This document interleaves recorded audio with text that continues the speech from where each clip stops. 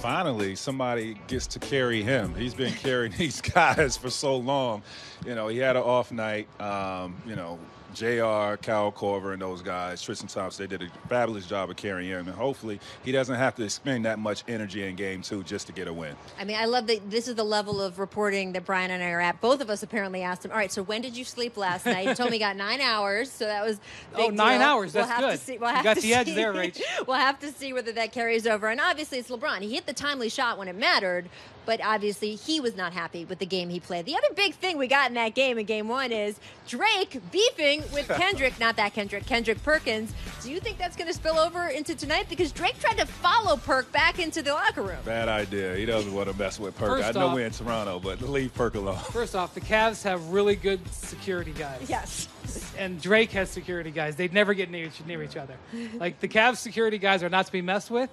Perk is not to be messed with.